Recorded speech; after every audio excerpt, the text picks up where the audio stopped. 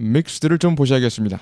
섞인, 뒤섞인의 뜻이고요. 머리가 뒤섞였다면 혼란스러운 거겠죠. 혼란스러운. 익혀 두셔야 할 표현들 I have mixed feelings. 마음이 혼란스럽다란 뜻입니다. 마음이 혼란스럽다. 만감이 교차된다. 착잡하다란 뜻이죠.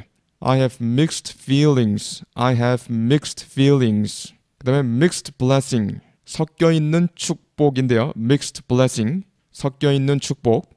유리하기도 하고 불리하기도 한 것. an event, situation, etc. 사건이나 상황 등등이고요. having both advantages and disadvantages. The Yen's appreciation, 엔고를 의미하고요. appreciation은 평가 절상이란 뜻입니다. 평가 절상. NY 평가 절상, 즉 엔고는 is a mixed blessing, 섞여 있는 축복이다. That would help as well as hurt Japan. 일본에게 득이 될 수도 있고 해가 될 수도 있는 득실 양면이 있는 현상이다.